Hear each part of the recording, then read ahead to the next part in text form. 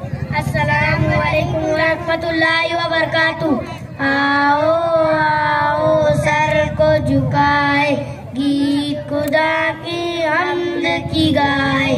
जिसने इस दुनिया को बनाया और हमें फिर इसमें बसाया। जिसने पानी और हवा दी जिसने